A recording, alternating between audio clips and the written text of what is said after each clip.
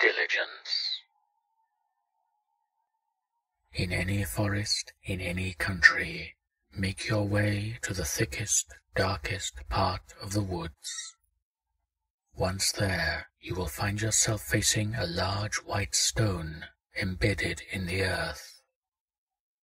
In order to proceed, you must offer a sacrifice of blood. Once you have drawn the blood, you must run it across the face of the stone from top right to top left. After your sacrifice of blood, nothing will seemingly happen. At this point, you must sit down upon the earth, cross-legged, and wait. After twenty-five minutes, you will hear shuffling from somewhere behind you. You mustn't avert your gaze from the stone before your eyes. After another five minutes, the earth will begin to shudder. As the shaking grows more violent, you must rise to your feet and bear witness to the stone as it slides away from you revealing a large square hole in the ground. When the quakes end, you may proceed into the dark hole.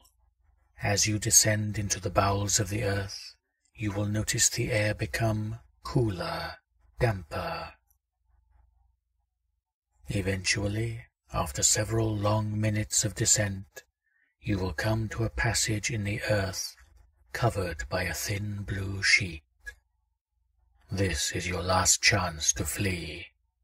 If you choose to move forward, you must say the following before continuing.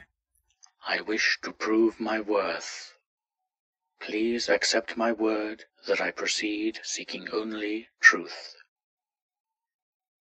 When you enter the passage, you will find yourself just a few paces away from a large, dark, round cavern. Entering, you will be greeted by the reflective eyes of a vaguely humanoid creature, crouching in the center of the room, his hands folded atop something on the floor. Once again, you must wait, this time for sixty minutes before moving or speaking, lest the creature lunge and attack you. After the five minutes are up, the creature will bow its head and you must ask, How long has it been?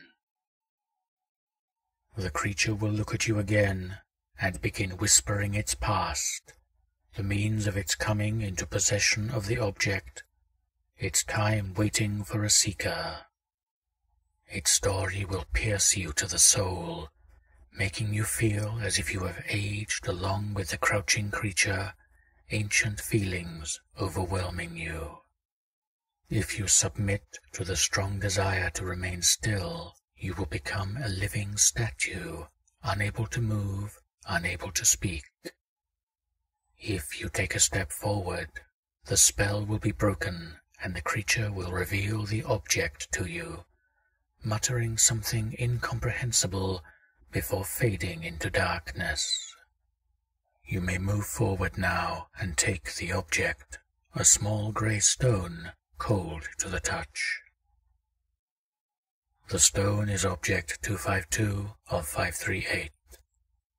They have endured the test of time, but shall you?